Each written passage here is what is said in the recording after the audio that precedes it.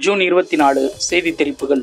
பதினெட்டாவது மக்களவையின் முதல் கூட்டத்தொடர் திங்கட்கிழமை தொடங்கியது. குடியரசுத் தலைவர் மாளிகையில் நடைபெற்ற நிகழ்ச்சியில் இடைக்கால சபாநாயகராக பத்ருகரி மெஹதாப்புக்கு குடியரசுத் தலைவர் திரௌபதி முர்மு பதவி பிரமாணம் செய்து வைத்தார். இந்த நிகழ்ச்சியில் பிரதமர் மோடி நாடாளுமன்ற விவகாரத்துறை அமைச்சர் கிரண் ரிஜ்ஜு துணை குடியரசுத் தலைவர் ஜெக்தீப் தன்கர் உள்ளிட்டோர் கலந்து கொண்டனர். இதையடுத்து பத்ருஹரி மேதப் மக்களவைக்கு வந்து பொறுப்பை ஏற்றுக்கொண்டார். மேலும் புதிய உறுப்பினர்களுக்கும் அவர் பதவி பிரமாணம் செய்து வைத்தார். முதல் உறுப்பினராக பிரதமர் நரேந்திர மோடி மக்களவை உறுப்பினராக பதவியேற்றுக் கொண்டார். அவரைத் தொடர்ந்து பாதுகாப்பு அமைச்சர் ராஜ்நாத் சிங் உள்துறை அமைச்சர் அமித்ஷா சாலை போக்குவரத்து துறை அமைச்சர் நிதின் கட்கரி ஆகியோர் மக்களவை உறுப்பினர்களாக பதவியேற்றுக் கொண்டனர். புதிதாக தேர்ந்தெடுக்கப்பட்ட எம்பிக்கள் சமஸ்கிருதம் இந்தி டோக்ரி பெங்காலி அசாமிஸ் ஒடியா மற்றும் ஆங்கிலம் என பல்வேறு மொழிகளில் பதவி பிரமாணம் எடுத்துக்கொண்டனர் முதல் உறுப்பினராக பிரதமர் நரேந்திர மோடி இந்தியில் உறுதிமொழி எடுத்துக்கொண்டார். அவர் பதவியேற்க வரும்போது ஒரு பக்கம் ஜெய் ஸ்ரீராம் என பாஜக எம்பிக்கள் முழக்கம் எழுப்பிய வேளையில் எதிர்க்கட்சிகள் தரப்பிலிருந்து அரசியலமைப்பு புத்தகத்தை உயர்த்தி காண்பித்து எதிர்ப்பு தெரிவித்தனர். மத்திய கல்வி அமைச்சர் தர்மேந்திர பிரதான் ஒடியா மொழியில் பதவியேற்றார். அவர் பதவியேற்க வரும்போது எதிர்க்கட்சிகள் நீட் நீட் என முழங்கினர். சமீபத்தில் எழுந்த நீட் தேர்வு முறைகேடுகளுக்கு எதிர்ப்பு தெரிவிக்கும் வகையில் அவ்வாறு முழக்கம் எழுப்பினர் இடைக்கால சபாநாயகர் தேர்வு விஷயத்தில் நரேந்திர மோடி அரசு அரசியல் சாசனத்தை மீறிவிட்டதாக குற்றம் சாட்டி காங்கிரஸ் திரிணாமுல் காங்கிரஸ் சமாஜ்வாதி திமுக உள்ளிட்ட எதிர்க்கட்சிகளைச் சேர்ந்த எம்பிக்கள் நாடாளுமன்ற வளாகத்தில் அரசியல் சாசன புத்தகத்தை கைகளில் ஏந்தியவாறு ஆர்ப்பாட்டத்தில் ஈடுபட்டனர். அப்போது அரசியல் சாசனத்தை பாதுகாப்போம் என்றும் அரசியல் சாசனம் வாழ்க என்றும் முழக்கங்களை அவர்கள் எழுப்பினர். பதினெட்டாவது மக்களவையின் முதல் கூட்டத்தொடர் தொடங்குவதற்கு முன்பாக பேசிய பிரதமர் மோடி நமது அரசியலமைப்பின் மாண்பை நிலைநிறுத்த தங்களை அர்ப்பணித்துக் கொண்டவர்களுக்கும் பாரதத்தின் ஜனநாயக மரபுகளில் நம்பிக்கை கொண்டவர்களுக்கும் ஜூன் மாதம் இருபத்தி ஐந்தாம் தேதி மறக்க முடியாத நாள். இந்திய ஜனநாயகத்தில் ஓர் இருண்ட அத்தியாயம் எழுதப்பட்டதுடன் ஐம்பதாம் ஆண்டு தொடங்குகின்றது. அரசியலமைப்பு சட்டம் முற்றிலுமாக புறக்கணிக்கப்பட்டு கிழித்தெறியப்பட்டு ஜனநாயகம் முற்றிலுமாக நசுக்கப்பட்டு நாடே சிறைச்சாலையாக மாற்றப்பட்டதை இந்தியாவின் புதிய தலைமுறை ஒருபோதும் மறந்துவிடக்கூடாது. அவசர நிலை அமலுக்கு வந்து ஐம்பது ஆண்டுகள் ஆன இந்த நிலையில் நமது அரசியலமைப்பு சட்டத்தையும் ஜனநாயகத்தையும் பெருமையுடன் பாதுகாக்க வேண்டும் என்பதை நினைவூட்டுகிறது என்றார். மேலும் எதிர்க்கட்சிகளின் ஆக்கப்பூர்வமான பங்களிப்பையும் மக்கள் எதிர்பார்க்கிறார்கள். சாமானிய மக்கள் அவையில் விவாதத்தையும் விடாமுயற்சியையும் எதிர்பார்க்கிறார்கள். மக்கள் கோபம் நாடகம் மற்றும் தொந்தரவு ஆகியவற்றை எதிர்பார்க்கவில்லை. அவர்கள் பொருளை தேடுகிறார்கள் கோஷங்களை அல்ல என்றார்.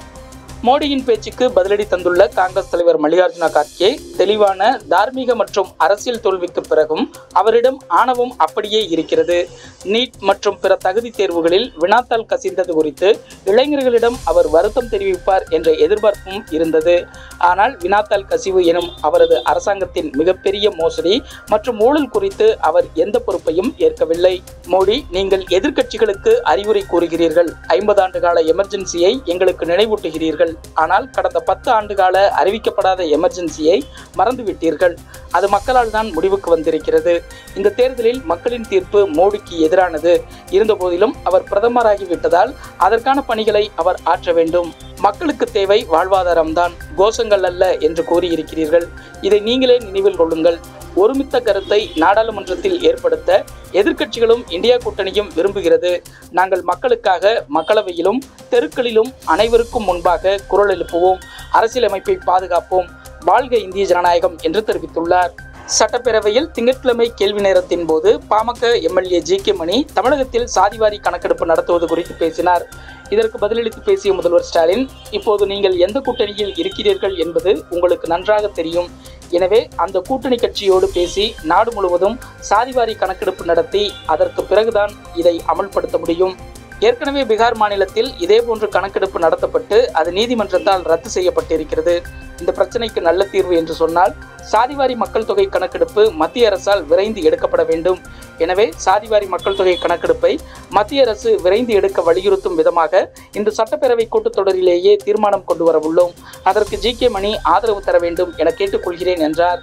தொடர்ந்து இப்பிரச்சனையை ஜி கே மணி பேசும்போது சாதிவாரி கணக்கெடுப்புக்கும் மாநில அரசு பத்து புள்ளி ஐந்து சதவீத உள் இடஒதுக்கீடு வழங்குவதற்கும் சம்பந்தமில்லை.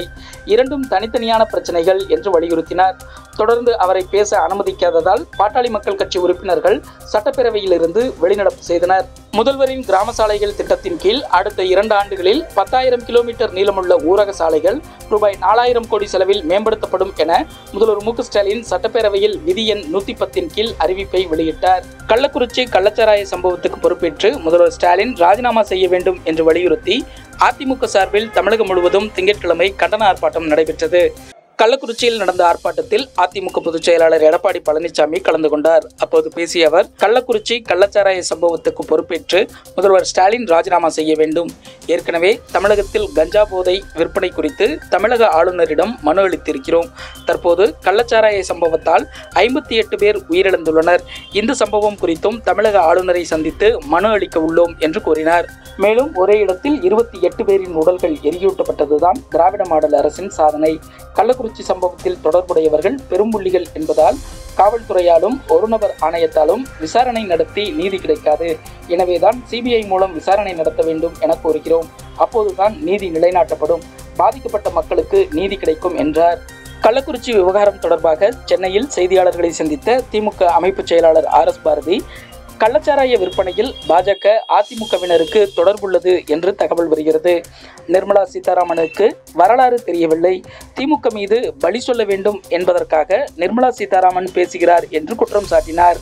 கள்ளக்குறிச்சியில் கள்ளச்சாராயம் குடித்து ஐம்பதுக்கும் மேற்பட்டோர் உயிரிழந்த விவகாரம் தொடர்பாக சிபிஐ விசாரணை கோரி தமிழக ஆளுநர் ஆர் என் ரவியை சந்தித்து அண்ணாமலை தமிழிசை சவுந்தரராஜன் உள்ளிட்ட தமிழக பாஜக தலைவர்கள் மனு கொடுத்துள்ளனர். நாடாளுமன்றத்தில் இனி பாஜகவுக்கு எங்களின் ஆதரவு இல்லை.